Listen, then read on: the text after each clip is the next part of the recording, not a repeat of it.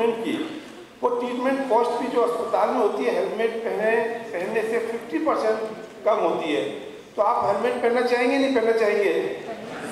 very good अब आप देखिए ये ये रियल